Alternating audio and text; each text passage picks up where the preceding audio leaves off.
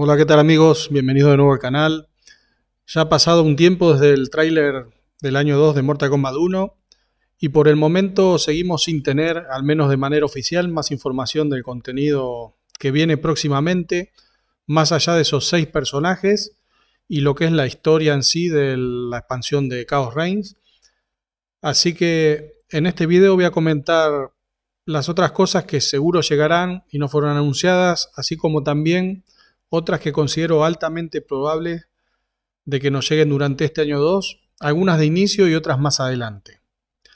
Voy a empezar por lo que puedo dar por confirmado y son los anunciadores.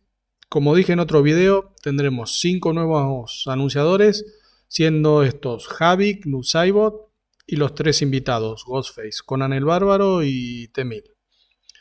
También como pudimos ver en los trailers de Chaos Reigns, tendremos nuevos escenarios, en ese video que hice hace un tiempo atrás, eh, donde confirmé los personajes y los anunciadores, también dije de que en los archivos habían dos nuevos escenarios, que no sabía los nombres, pero igualmente, por lo que pudimos ver hasta ahora de estos trailers, es posible de que finalmente tengamos incluso más de dos escenarios. También, como vimos en esos trailers, tendremos variantes de escenarios existentes, como podría ser la Academia Gucci u otros escenarios en su versión caótica, llamémoslo. Otra cosa que podría considerarse como 100% confirmada para el día del lanzamiento serían las Mercy, que casi con total seguridad sea un requisito para poder realizar las Animalities, así como fue también en Mortal Kombat 3. Esto es todo en cuanto a lo confirmado. Ahora vamos a hablar de otras cosas que muy posiblemente sean agregadas durante este año 2. Lo que es público y notorio es la ausencia total de cameos. Personalmente dudo mucho de que no vayan a agregar más cameos, pero que oficialmente no haya un anuncio nuevo para cameos dentro de lo que es la información del pack de Chaos Reigns me genera varios interrogantes. Igual como dije antes, no tengo dudas de que van a agregar nuevos cameos, principalmente porque ellos optaron porque este sistema sea uno de los dos ejes centrales del juego. Ya después voy a hablar del, otro. Una pista que podríamos tener cameos para este año 2 es el posteo de, con una votación que hizo Ed Boon hablando de este tema justamente. Si a eso le sumamos a que para este año 1 tuvimos 6 personajes y 5 cameos para cubrir lo que fue todo el año, y actualmente lo que sabemos hasta ahora es que tenemos 6 personajes DLC, pero 3 van a ser lanzados el día 1, queda claro que con esos 3 invitados que nos quedan para después, estaría muy lejos de haber contenido suficiente para lo que es todo un año.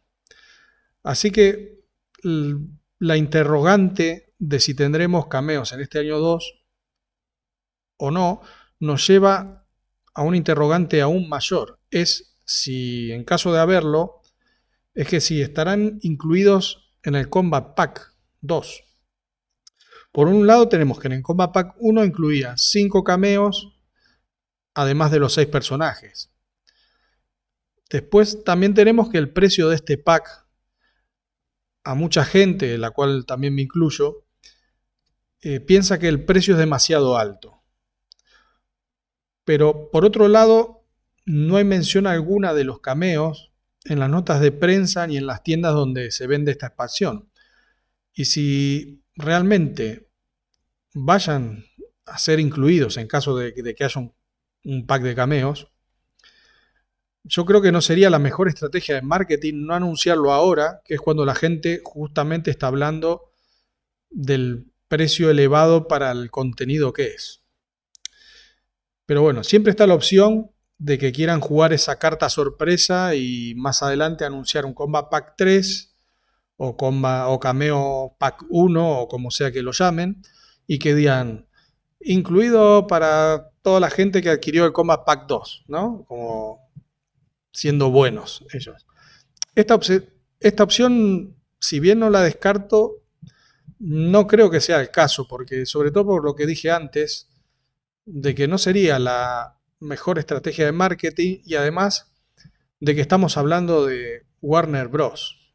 Que si algo les gusta es el dinero. Aunque es ahí donde el tema del precio vuelve a, surgir. Es difícil pensar que después de desembolsar 50 o 60 dólares al poco tiempo, pongan otro Combat Pack de pago. Recordemos de que este juego está teniendo contenido habitualmente todos los meses, con lo cual dudo mucho de que tarden demasiado en lanzar más DLC después de esos tres personajes que nos quedan post lanzamiento de la expansión. Así que bueno, toda esta situación me tiene como 50-50, no sé qué pensar. Porque el contenido, como dije, para el año 2 es escaso. Pero a su vez se suma que, que es caro. Entonces, ¿van a sacar al poco tiempo otro pack de pago? No sé. En los últimos meses se había mejorado bastante la imagen del juego en sí. Y pienso que de ser así, en este caso, esto podría ser una estocada de muerte para el juego. No creo que sea algo muy inteligente. Em, pero bueno, ahora voy a hablar del segundo pilar del juego, que como sabemos, este juego hace énfasis en lo que es el sistema de cameos y el modo invasiones. Hasta donde sabemos, este modo va a continuar ya que al menos tenemos una temporada más confirmada, la de Liu Kang, y después veremos más adelante si sigue o no, pero por lo menos una temporada más hay confirmada. Desde que salió el juego pudimos ver cómo poco a poco fueron agregando más variedad al contenido y creo que ese va a ser el fuerte de este segundo año. Como sabemos, desde el día 1 tenemos en los archivos del juego cosas como Test Your Sight, Test Your Trike, Test Your Luck.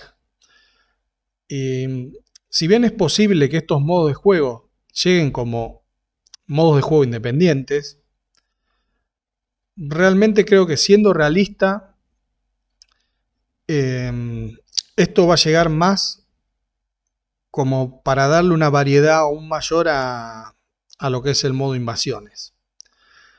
Que como dije antes, es otra de las apuestas que hicieron para este juego. Básicamente es cameos e invasiones. Eh, pero bueno, habrá finalmente que ver si también si tendremos los eventos de Cage en la mansión, ya que por el momento deja solo, solo es un, un tutorial. Creo que hay posibilidad de que esto pase, aunque de todas maneras vamos a tener que esperar hasta Halloween para poder confirmarlo y ver si finalmente los eventos fueron cancelados o es algo que sigue en pie. Ya para, para finalizar, habrá que ver también si tenemos los arcades jugables en la mansión de Cage o si eso fue más bien algo en la fase de prototipo y finalmente se descartó. Pero bueno, eso es todo lo que tengo para hoy y nos vemos en el próximo video.